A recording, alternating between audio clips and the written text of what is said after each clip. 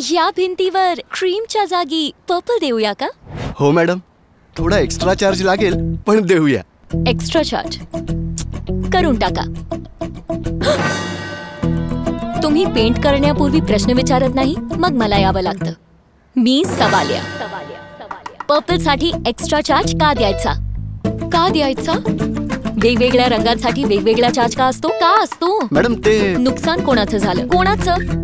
माझं. राईट घर तुझं तर नुकसानही तुझंच. तर मग जोपर्यंत विचारत नाही, कळणार कसं? जीएसडब्ल्यू पेन्स घेऊन आले आहेत. एनी कालम वन प्राइस म्हणजे रंग कोणताही असो, किंमत एकच असेल.